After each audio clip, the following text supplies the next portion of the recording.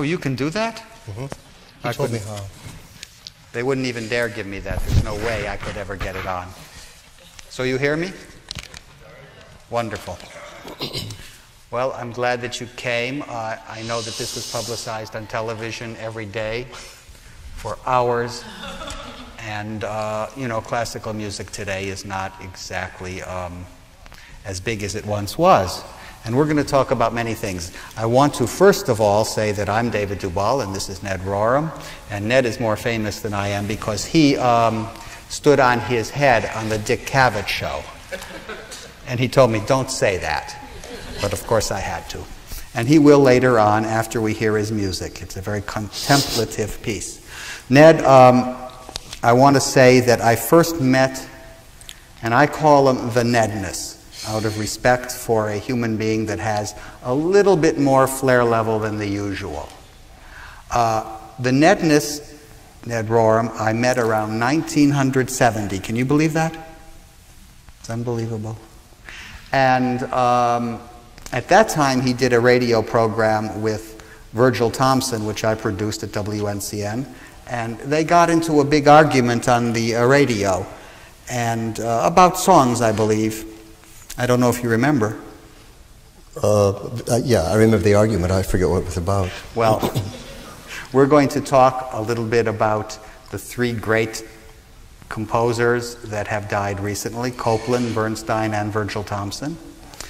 And I want to say that Ned Rorem was born in Chicago, and he told me to say that remember 12 books he wrote. He's not only a composer, he is a writer, and his books, by the way, are very important to American letters. Uh, some of them are called Critical Affairs, Settling the Score, Music and People, A Composer's Journal. He's written operas, he's written piano works, he's written, my God, I would say 350 songs, you think? Perhaps. perhaps that many. The American Schubert.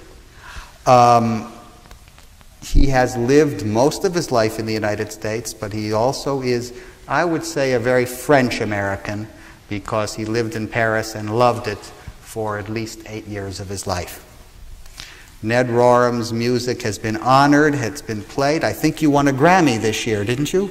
Uh, yes. Atlanta Symphony doing the string orchestra piece, uh, which we will be hearing.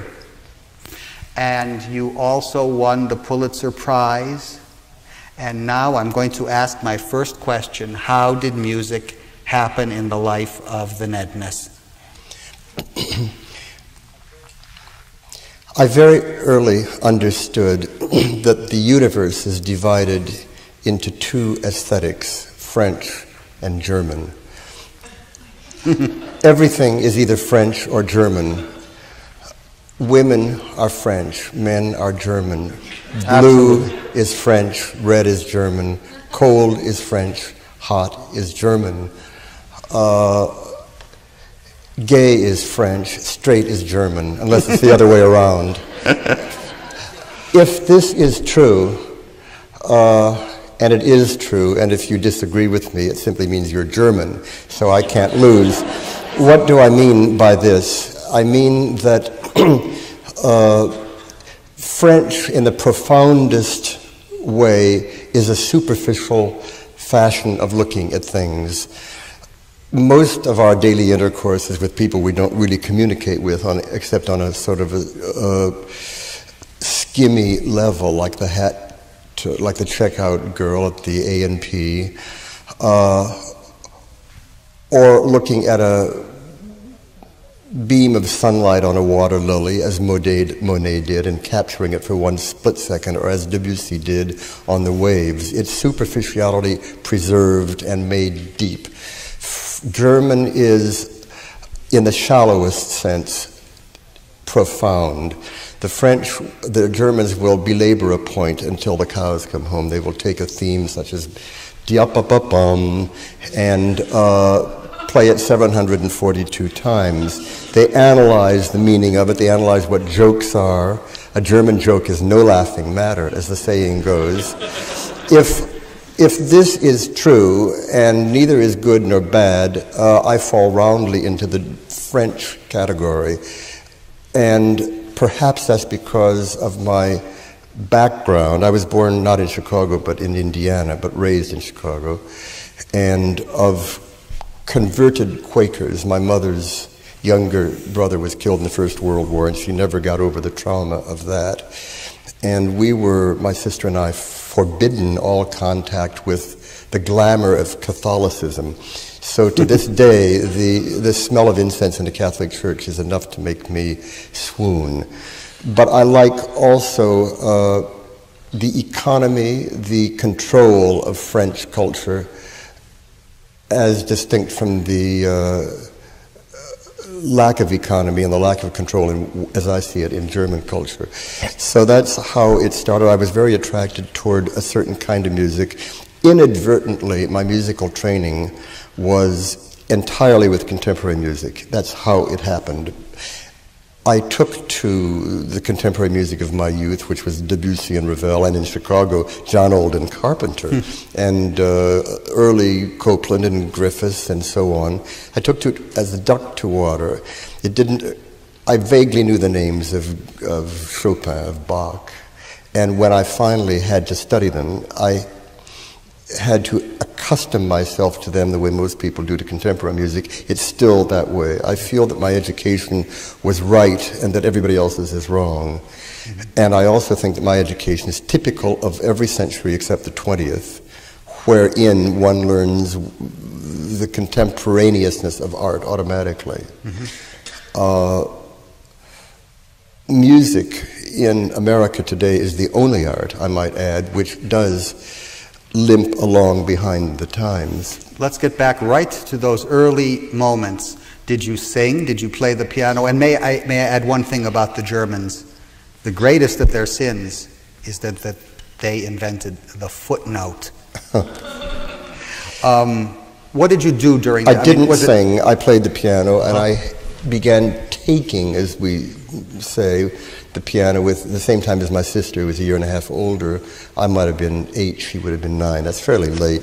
But, but I was immediately better than she was, and the sibling rivalry set in. She stopped playing. And as soon as I got good enough to get around the keys, I would make up pieces, mm-hmm. and the pieces were madly uh, uh, impressionist with very grandiose titles. And my, so you were using ninth chords at nine years old. Mm, I was, I, the, the kind of stuff that I learned was really junk. My teachers were no good. And I learned a piece called Mealtime at the Zoo, for example, Crossed My Hands, which my parents' friends adored. But when they saw what they had wrought, this little boy that crossed his hands and played Mealtime at the Zoo, they gave me to a real teacher who happened to be Margaret Bonds, who was not only a woman but black in Chicago. This is in the 30s. And people didn't study with black composers, but my parents were progressive. And I would take the uh, bus out to her house on Wabash Avenue in the, in the sort of ghetto area of Chicago and take these lessons. And the first lesson, she played both Ravel and a piece of John Alden Carpenter's and a piece of Griffes, The White Peacock for me. Mm. And I was intoxicated and I had a quasi nervous breakdown from which I haven't yet recovered. and I think that the sickness that, that came onto me is not sickness really at all, but the virus of health, uh, which is caring about something that really matters and not money. And I remember saying to Father, uh, I want to be a composer. And that is not what young Americans say. They say, I want to be a fireman, or today they say, I want to be a lawyer, or a, something that deals stock with money. Broker, stockbroker. Yeah. And that father investment banker. Father says he said to me, "How are you going to make a living?" And I apparently answered, "I don't care as long as I have enough mm-hmm. to keep a roof over my head and can do what I want to do on my own terms." And they were, I bless them to this day that they were very encouraging to me about that, and they were until quite late in my life. Well, your parents were were adored Mentors. by you always. Yes. Well, love them, and I by them. Yeah. Yeah. Let's get you, uh, you were not a prodigy because uh, the books never say that. I wasn't a prodigy. My earliest things that were any good were songs. And I, I was kind of a prodigy. No, I wasn't a prodigy because I didn't practice enough. All I right. wasn't interested in being a performer. The fact that you said you're still intoxicated with the white peacock, so to speak, all impressionist music, you always loved Debussy, uh, Ravel. Is it still with you, this love of the French uh, composers of that time? Yes, it is. Yeah. And that which I look for in any music from. Uh, I forgot to mention in my little list that Schubert is French and Berlioz is German. if you see what I mean. So that I look, when I listen to German music I, that I like, like Rosenkavalier, which is nothing if not German, nevertheless, that which attracts me is the uh, directness of it, if it's there, the delineation of melodic lines, and the lack of fat. German orchestration, for example, is uh, doubles at all times, so that you know, know quite who's playing what. And French orchestration doesn't, so that in Ravel you can it's crystalline. How do you rank Mozart? Is he German or French? He would be French, I suppose, but I, uh, one would have to add that I'm speaking of that which occurred since the Industrial Revolution, Okay. when everything changed. Ned, we, we know now the French affiliation, and the first time you had a chance, you went to Paris. Is that right? Yes, people often say, they don't often say, but it's, it's been said to me, well, your stay in France certainly has stamped your music. In fact, I was French before I went to France, and it was like going home to a home where I'd never been.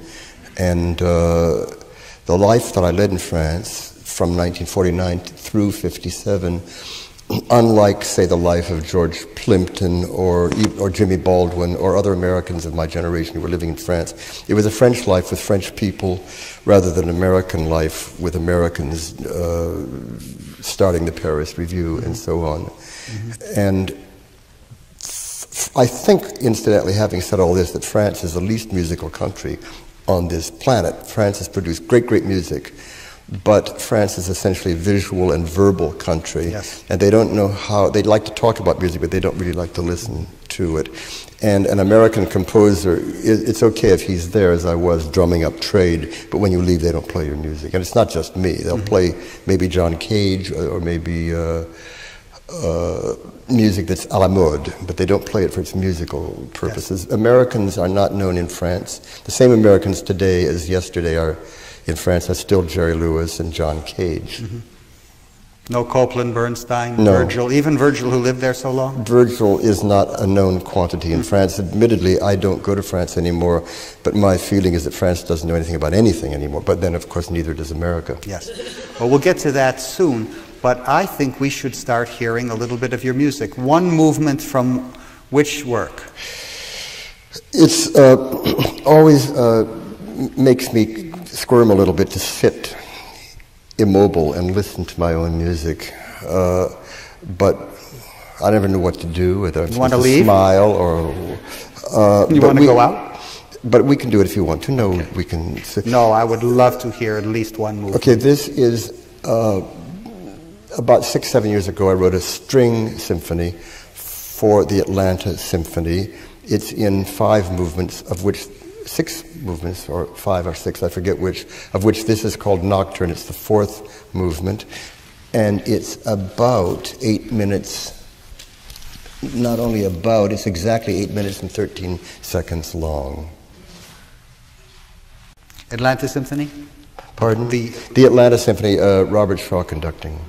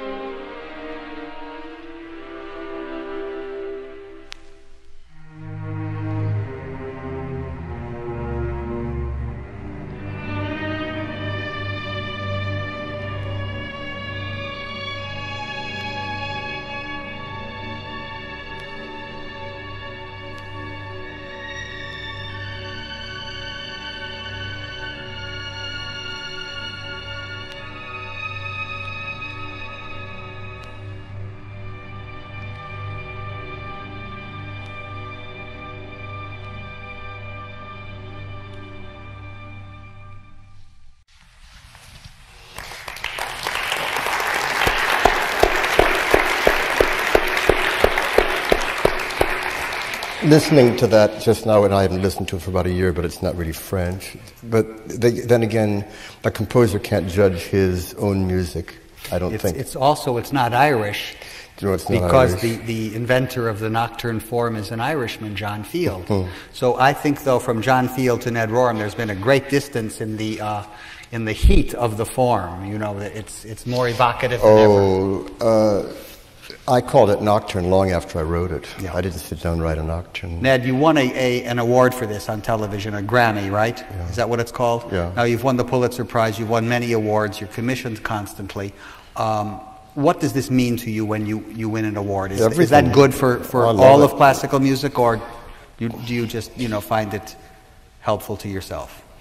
The money part is good if there's any money, but there's not in a Grammy, and there isn't in a Pulitzer Prize. The Pul- when I got the Pulitzer in 1976, I thought somebody made a mistake. I, I came home, I remember, from a depressed, debauched uh, tea About 8 o'clock in the evening, the phone was ringing, and somebody from Cincinnati said, May I be the first to interview you?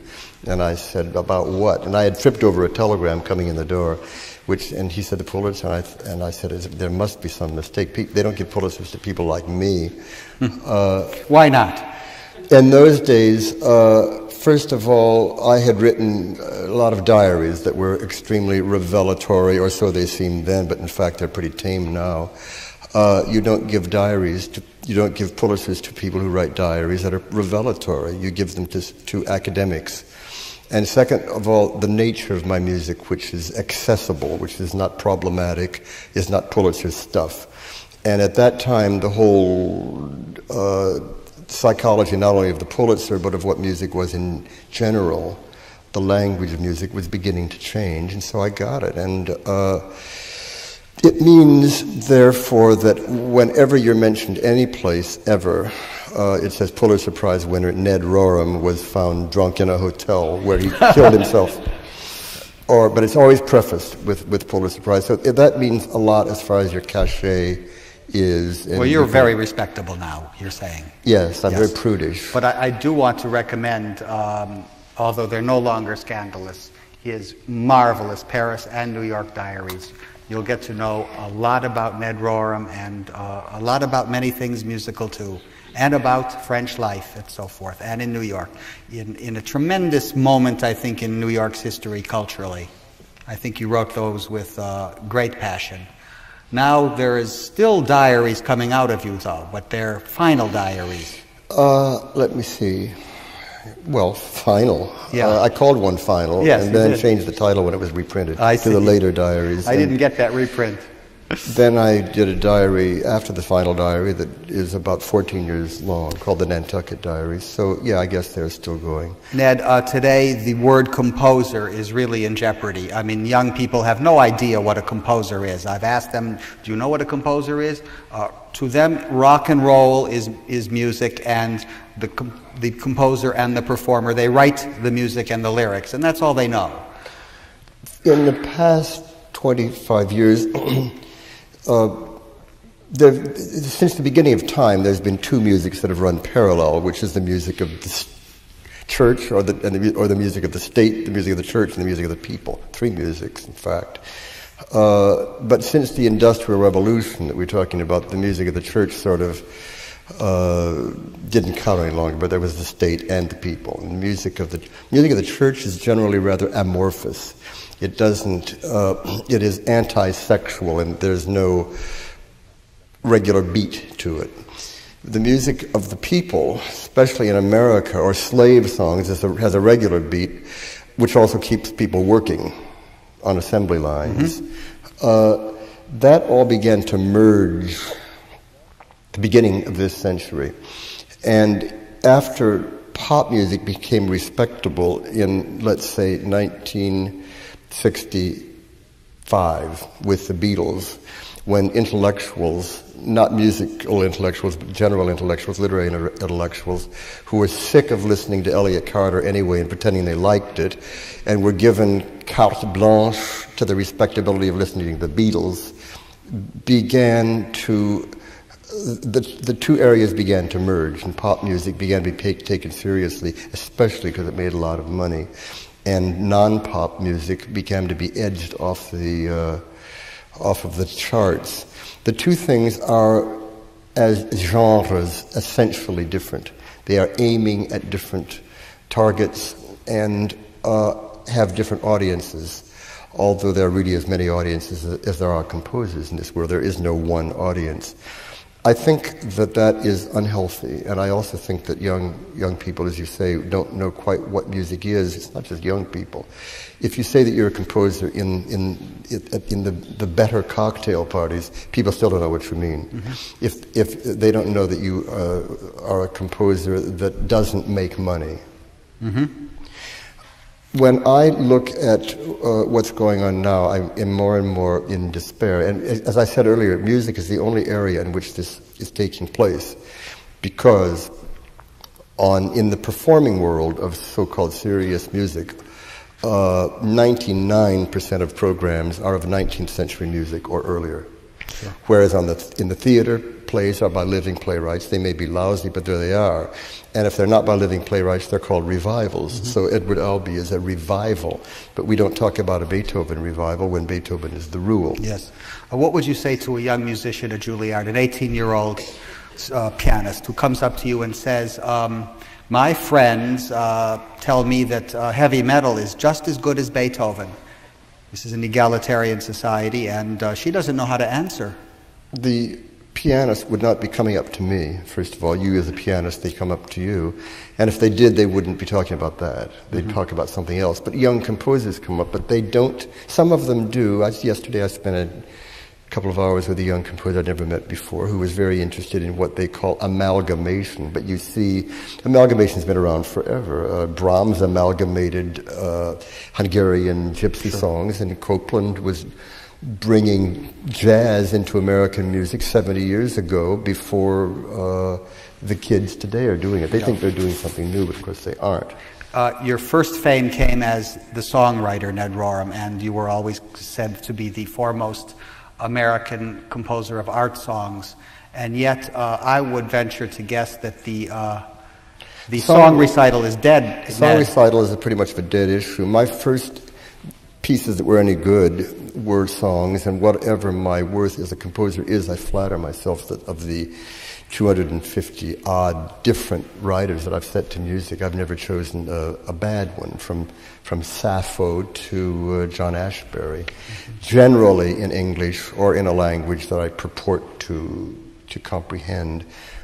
Uh, I was not interested in songs because I was interested in the human voice, and I'm still not very interested in the human voice. I'm interested in poetry, and I was therefore interested in uh, conjoining my two loves, which were poetry and music.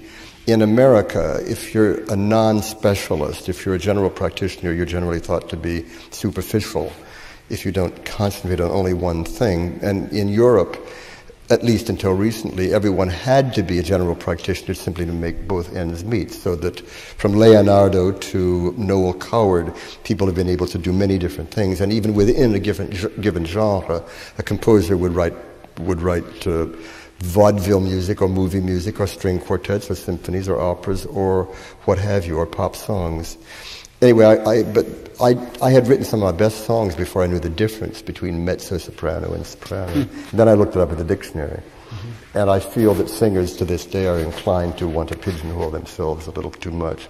But how do you feel about the fact that you have composed so many and they will not be sung in recitals because the recitals don't exist? They get sung a little bit, but mm-hmm. less. And it's true that you can count on the fingers of neither hand uh, an American singer in this country of 250 million souls. Hmm. there is not one single singer uh, who earns his or her living primarily as a recitalist.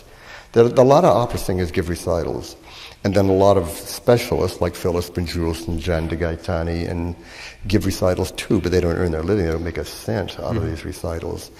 It's too bad, and I doubt if it'll come back. People who write for this for the voice today write for the write for the voice in conjunction with other instruments. It's chamber music, uh, voice plus bass flute Yeah. plus, plus viola plus vibraphone. Living in the United States most of your life, is life better now for a musical composer uh, than, let's say, when you were growing up? Because let's say, like a man, Griffes, he, he, he really died of a, a spiritual isolation at the age of 36 in the, in the 19, late teens. I wasn't around, so I don't know. And I can't, one can't know why Griffes died. Do you feel isolated died. now?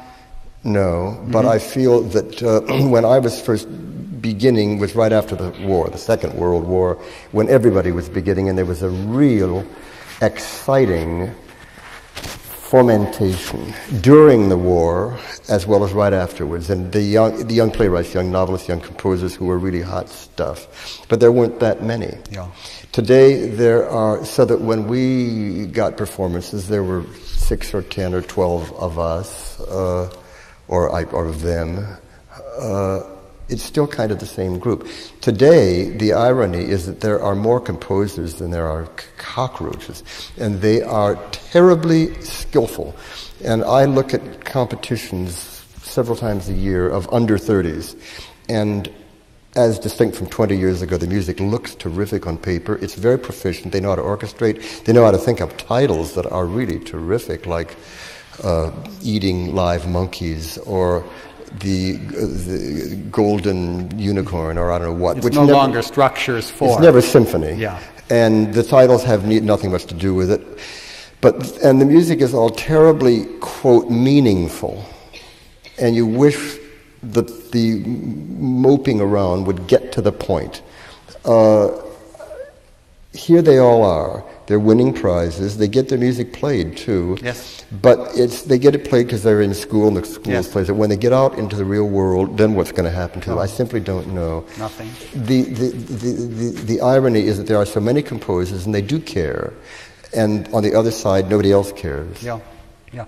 Well, when you're not sleeping, three in the morning, do you feel, oh my God, I've written a lot of music uh, that something will survive, or do you not think of that? I think less of it. The business about what will survive, it's not for me to judge my own work. It's not for any artist. I, I use the word advisedly, it's a rather pretentious word. But it's not for any so-called creative artist to know what's going to happen to him or to be able to judge himself. When people say, are you better than you used to be? I don't really think people get better. I don't think... Uh, there are certain composers who simply are born like out of Zeus's head, full blown. Chopin's an example. Ravel's another example. They didn't improve. They were pretty much the same kind of music all their life. None of it was bad. There are other people like Stravinsky or Beethoven who have what we call periods. Though the farther away we get from these periods, the more homogenized it is, and we see it's really all the same voice speaking. I don't know that, that Beethoven got better. You're either good or you're not. A lot of people get worse. Uh, but Who got worse? I think that uh, in in the, not in the area of music for a moment, in the area of playwriting, I th- in America, I think there is not one playwright who has been better after the age of 40 than he was before 40. The reason being that uh, American plays are about the body. Americans are young people, they're concerned with, uh, with self-expression in quotes and with sex and with death and with big emotions. After a certain age uh, in France, you can write philosophically as Sartre did or Montherlant or Claudel and write grown-up plays. In America, there are very few grown-up plays. That even goes for Arthur Miller. Certainly it's true of Tennessee Williams. They all got progressively worse and worse. In music, some composers just stopped. Sibelius just stopped. Rossini stopped. And they lived many years uh, more or Many less hap- rich and happy afterwards. Uh, I wouldn't presume to say of Many repeated themselves over and over, of course. I think everyone repeats themselves, and I don't think that anybody, any artist, has more than four, the best have four or five ideas in their whole life. But you take an idea and you do it big, you do it small, you do it pink, you do it purple, you do it for uh, chamber groups, you do it for solo voice, and, you, and so on, and you then you get a new idea. Larry Rivers is a perfect example of who would concur with what I'm saying. Uh, or Picasso. Picasso would do goats for a year, big goats, little goats, or women with long hair, or women crying, and he would stick to an idea. He just had 14 or 15 good ideas. Most people have four I five. would say Picasso had about six, but it depends on how you split them up. But still, it's not a question of constantly being new, and, it, and the whole question of artists who say, I don't like to repeat myself, and they impress people with that noble sentiment. In fact, everybody repeats himself. Yeah. And the human body couldn't, we don't need that many ideas. What we knew is, need is to take the ideas, make them communicable. The trouble with, with, for example, rock singers during the Vietnam War, uh, Bob Dylan, they have got their heart in the right place, certainly, in what they are saying that the war is bad. Uh, but they play the guitar sort of, sort of no good with a, two or three chords, and they sing their hearts out. And because their hearts are in the right place, it's great art. But in fact, it's not great art in the sense that it, is, that it has been congealed into something that can be transmitted. Right. It has to be, can only be transmitted live, and uh, and by them. and by them. Of course, that's then what's the difference between pop and classical. Yes. And I don't mean to uh, denigrate pop music, and I certainly don't think classical music is necessarily better. But the difference is, uh, and I know what the difference is because I just wrote an, I just turned an essay in yesterday at Opera News about uh, American opera. What is it?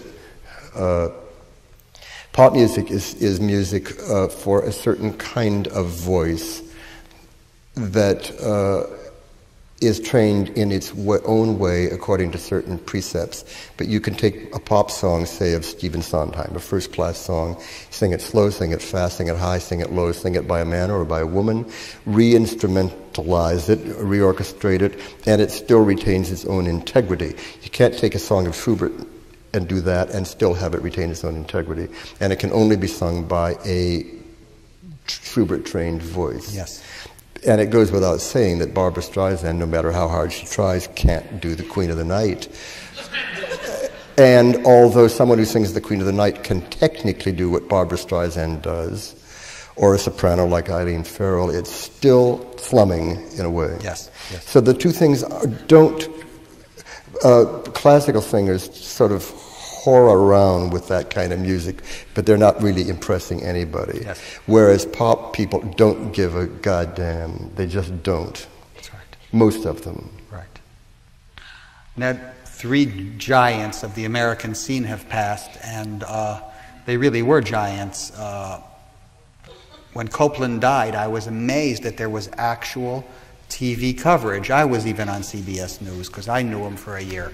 Uh, it seemed to be that they were saying this is the last great American name in, in music. Uh, then Bernstein died, and I was surprised how little co- coverage. But the main thing I want to ask you is that you knew Virgil Thomson. You even, I think, studied somewhat with him. Uh, you knew Copland very well and Bernstein well. Uh, how do you feel about uh, Virgil Thomson as writer and as composer? Now that they're all dead, Yes. and one can see them in retrospect, actually Bernstein died first. And my impression was the reverse of yours. He died in a year ago, uh, this October, just last October.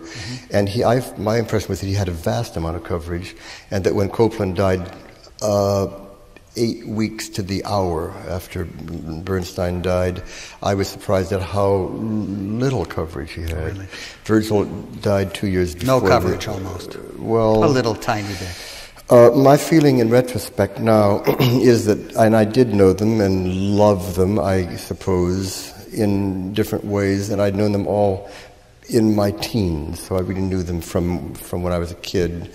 Uh, I feel that Lenny Bernstein holds up admirably, and I think that a lot of what one didn't like about him, his vulgarity, uh, the has softened a great deal, and a lot of what was vulgar isn't. It was, it was uh, a kind of a chutzpah that was really caring, and that he did a lot of good. And I think some of his trashy music isn't trashy. I've listened to a great deal because Yeah. I had to write on since he died, and I had to write some articles, and I think much of it holds up like uh, uh, uh, the best of American music ever. Yes. With Aaron Copland, uh, he is he sort of is what he is, and the interesting thing about that is that Copland was uh, pretty much in the collective unconscious, but the young composers weren't weren't imitating him. Today they are. Mm-hmm. They may not know it, but they are. Mm-hmm. Virgil, in retros- Virgil Thomson, in retrospect, is not a very important composer. I don't think that almost none of his music except the operas is worth much, in my opinion. But I think that two of his three operas, the one on Gertrude Stein's, are for some crazy reason. The reason being the happy uh, potion that was formed out of Gertrude Stein and Virgil Thomson, mm-hmm. that neither of them could have known beforehand. When these two things were poured into the same glass, mm-hmm. it created something that had never existed before and has never existed since, and that is that it stands that it is American, not because it's about America. Four Saints in Three Acts is not about America, but is American because of the d- diction of Gertrude's words, which were American words, and words that could only have been written by an expatriate who was far enough away from them to, to make them, to congeal them. And Virgil's musicalizing of those words of, by taking his utterly American background, which was very Gentile, and Gertrude's, which was Jewish, but uh, putting these uh, Protestant hymn tune things to her words as though the words made sense, which they don't. Uh, but they do. Actually, no sung words ever make sense. Music just doesn't make sense. It makes something else. It makes its own sense. Yes. And I think in that, in that way that, that, that, that he will or won't live. But posterity is a question of posterity, and we can sit and idly conjecture till the cows yeah. come home. But in two years, everybody may be may be forgotten. Now, you are one of the most famous living American composers, um, and this question may be indiscreet, but uh, it does bother me. Are you yet making a living as a composer? Yes, I am, and I, and I knock wood, and I feel uh, very, very lucky, and my living is. I, I do. I've always done only what I want to do, and I've never done what I don't want to do.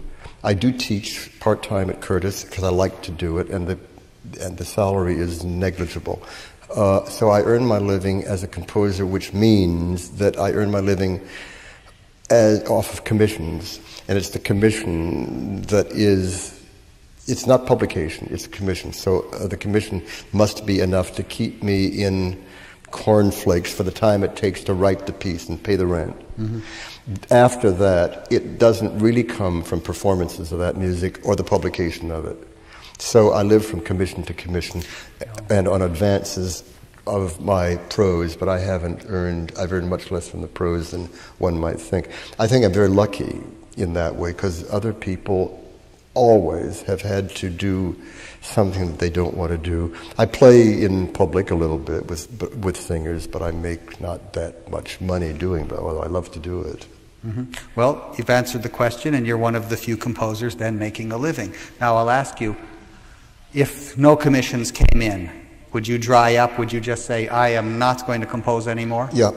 Really? Yeah. I think that uh, the business, uh, it's the business of getting up, as I used to do from the dining room table and rushing to the piano, uh, the business of self expression which, which the lay person loves to hear about, and inspiration and so forth, is something that is very self indulgent. It goes without saying the composer is inspired. He wouldn't be a composer in the first place. The important thing, as I said a while ago, is to take that inspiration. Everybody's inspired. Everybody uh, feels deeply about something.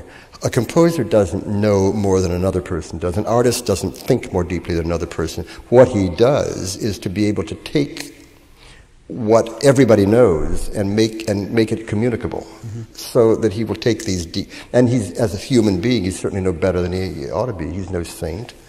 Uh, he's usually a sinner. Mm-hmm. Although I do have feel strongly that an artist is the least neurotic person on earth, and that loves. well, you're no longer neurotic, but you used to be very neurotic. Insofar as I was not an artist, I may have been neurotic, but I think that an artist is the only person who is sort or another. This even goes for bad artists, mm. uh, of which Very I may be one. But if I, but appreciation is terribly important. It's important from babyhood, and if what I do, if, if today, if I don't see my name in the paper once a week, or if somebody doesn't tell me how wonderful I am, or even something bad, but or my music played or published or this and that, I want to throw in the sponge because I'm very insecure, mm-hmm. as any as any composer is, because there's nothing to be secure about. There's no uh, there is no uh, social security for being a composer at all. Yes. I, to answer your question, I'm old enough to. Uh, I don't. I've written almost everything that I need to write. The question is, am I getting better? I don't. As I said, I don't think people get better, but I think I have a lot more technique uh, than I used to have. I mm. can put a big piece together, but I don't know that I could write a song today that is as immediate or as good or as it's it, could, it would be as well honed, but is it has can I make it breathe and bleed? I can teach anybody in this room to write a perfect song. I really believe that, but I can't teach them how to make it bleed and breathe, nor can I guarantee that my own is going to bleed and breathe. In other words, communicate and be alive. If I didn't get any more commissions, uh, uh, but I will. Mm-hmm because the, the ball is rolling and the, the inertia is, is going and one simply does. Well, the insecurity is fading away. No, I'm, I, am i am terribly insecure, but I have a certain sense of my own value and I have survived, and that's saying a hell of a lot. You know, we have about seven minutes, really. I don't want I, to play any more music. You really don't uh, want no, to play your music? I find it. Uh, I find it. I find this. If, if, if anyone here wants to hear my music, they can get it at a store. I may never see anybody here again. So let's take advantage of, of talking about virtually anything. Okay, let's let's talk about uh, let's talk about the United States right now. Um, what it means to be an artist in it, or just a citizen. How do you feel about the way our country is going? I think that people talk about Young composers are very inclined to talk about wanting to represent the times in their music. We have to be where it's at. Unless we are reflecting what's going on, we are worthless. It's so much pap, it's so much in the past. My, and they say that, and they can only say it because they're young. What they don't realize is that anybody anything anybody says or purports to say as art or just in conversation is of the times by definition. A work of art created today, good or bad or long or short, is by the times is of the times simply by virtue of being created in the times. Therefore, if the composer is very reactionary, which most of them are, these young kids are very reactionary as far as non-experimental language is concerned. You're not of the time simply because you incorporate uh, a, a, punk music into your life. Uh, you're, on the you're of the time simply because you're breathing the air of the 20th century. I also don't think that the times today are any worse than they ever were. I think all times are terrible. I think that the times when Mozart was living and writing this wonderfully light music, or the times of Kurt Weill when he was writing very light music about very horrendous tortures, uh, and the irony of the, of the juxtaposition of these two things is what gave it its strength all times are terrible at all time and the, but the artist for his brief for his 15 minutes uh, can get away from it. He has to be able to get away from it be able to write it down. You can't write music or paint a picture with tears in your eyes uh, because the tears make the ink blur and everything becomes a mess. You have to get away from it and objectify what you feel. The the sentimental notion that an artist who is suffering uh, is the great artist. And the even worse notion, the artist is starving, is better than the artist who ain't, uh, is disgusting. Uh, a hungry artist may write good music in spite of being hungry, but not because of it. I don't think that the time. I think that we. Oh, and nobody can really see the times. No, uh, people always say we are in an area of transition, but every hmm. area mm. is transition. My feeling, nevertheless, and one can't help but want to generalize, is the times are not particularly good for any of the arts, any place in the whole world. I think that performance in music of standard classics is more dazzling than ever. At Curtis, where I am, there are people this high, mainly from Korea, uh, girls from Korea, mm-hmm. 8 to 12 years old, who can play rings around Horowitz. Uh, what, whether no longer. They, whether they are saying anything, I, I don't know. I'm very, I'm not even jealous of the way they play the Chopin etudes, but there it is. Orchestras are uh, are technically extraordinary. But what really counts is what nobody cares about any longer, which is the music that's being written for these orchestras. Yes. The America is should be ashamed at ashamed at its own shame at still hiring only European conductors because of the inferiority complex that America has. Uh, and then hiring European conductors who won't play American music. And but why this uh, inferiority complex by now? Because although we still are proud of building bigger and, bigger and better atom bombs, we still think Europe's better than we are when it comes to culture, in spite of the fact that in painting, for example, in 1971, when Rauschenberg won the first prize at the Venice Biennale, and Americans aren't supposed to do that. The Italians and the French are supposed to, but he did. And, and painting has become a kind of a internationalized thing now. But it hasn't happened in music. No, and, God, uh, no. Hmm. The uh, politi- politicizing, the NEA, I would say about the NEA, and I only say it here in private because I wouldn't, and amongst peers, I wouldn't say to the general public, is not all that important. It's, uh, it's a little drop in the bucket. It's very, very small. Without the NEA, artists, just like with censorship, artists are still going to find a way. They can. Uh, great art has been has been produced in hideous periods, and terrible art has been uh, produced in periods of great lax uh, permissiveness. Mm-hmm. I don't. I don't feel very optimistic about the world as far as art is concerned. And I don't know that anybody feels optimistic about the world in other ways. And I always like to end things not by saying, and now on a lighter note, let's end. I think it's very healthy to end on a down note because, because the things we've been talking about are down, and that's what we need to think about. Mm-hmm. And maybe do something for the arts. Well, how, what do we do? I don't know. Money is very important. Uh, subsidization of one sort or another, listening to music uh, rather than complaining about it, or if one is going to complain, one should know what one is complaining about, uh, which certainly uh, Jesse Helms does not.